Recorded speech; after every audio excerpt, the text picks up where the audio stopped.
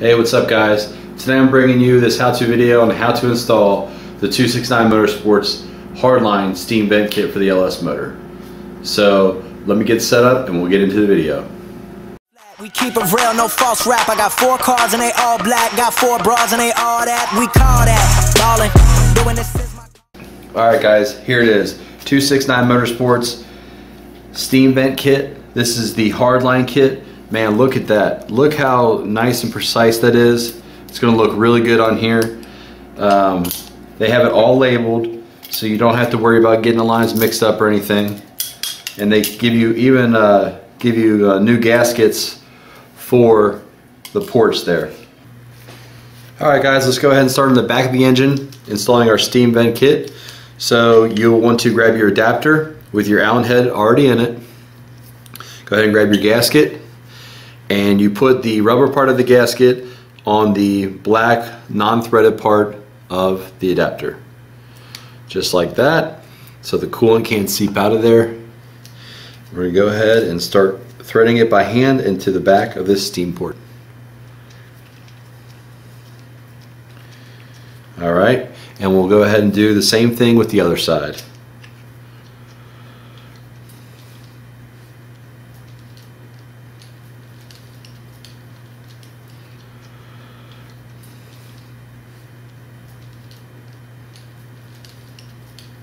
All right, so the tool you'll need to tighten these Allen heads down is a four millimeter uh, Allen head there.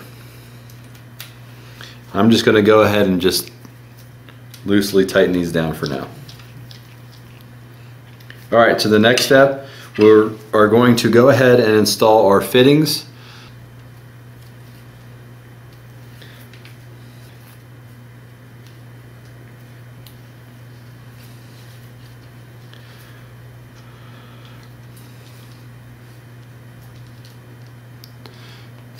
Now these threads are super fine, so be careful not to cross thread it. You can do that really easy.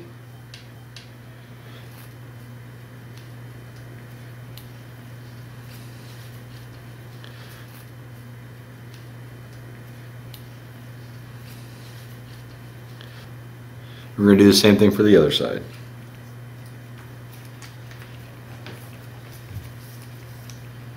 All right, now let's go ahead and move to the front. All right guys, so we're gonna move to the front and do the same exact thing as we did in the rear.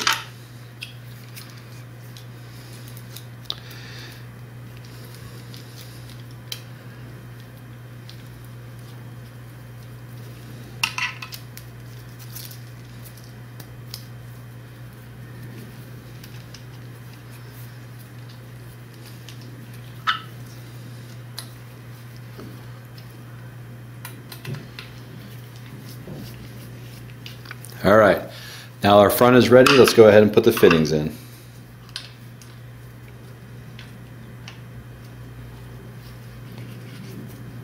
White thread tape is optional. There's not very much pressure on this line, so you do not have to use it if you don't want to. It's uh, your preference.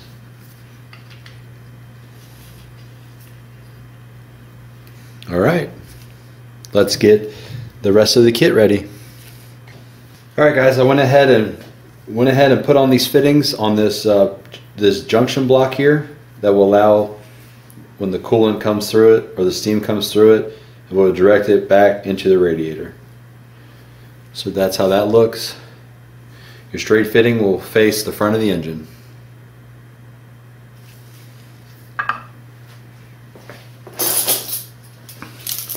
The next thing we're going to do is we're going to read through these labels and see where exactly where all these go.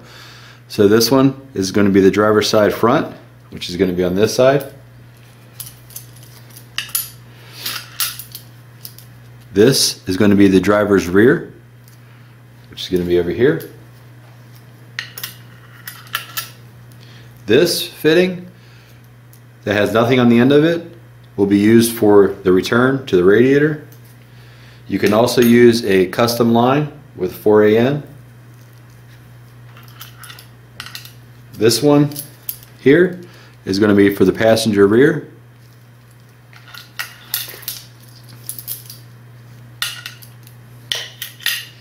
And the last one, obviously, is going to be for the passenger front.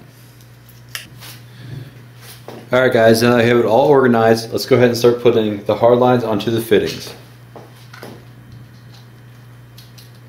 Once again, be careful when you're threading these because it's a really fine thread and you can strip these out and you don't want to do that.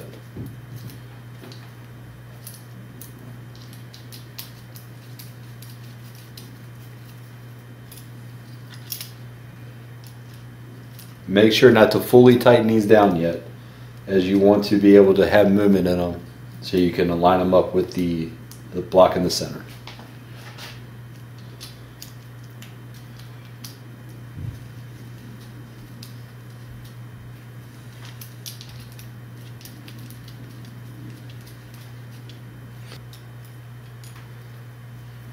All right, now that we got it all set up here with the hard lines, let's go ahead and put the block here onto their corresponding uh, hard line. And this is why you want to keep them loose, so you don't have to force them on there. You don't want to. You definitely don't want to force it. Once again, loosely put them on there until you get it all lined up.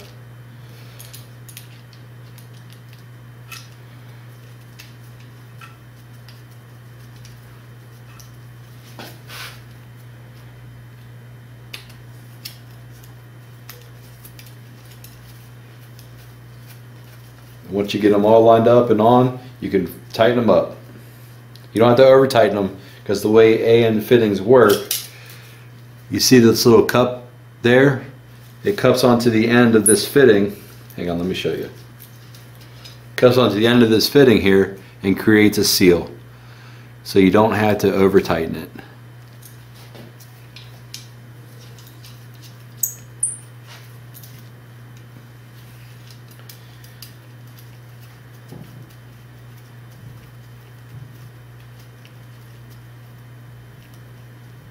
And there it is, guys. Easy. Five, ten minutes. You have your steam vent kit installed. Now all you have to do is if you run their supply line, you have to this will fit a rubber hose over it with a clamp. You can run it to your desired location, the radiator usually. I've seen some people run this to the water pump, but it's uh, your preference. There's no really right or wrong as long as it goes back into the cooling system. So there it is, the 269 Motorsports steam vent kit installed, the hardline. Um, in a couple weeks I will be coming up with a softline kit that fits the LS1, LS6, uh, the regular type intake manifold, the factory OEM one. Um, but yeah, I hope you enjoyed this video and I hope it helped you install your new kit. See you guys.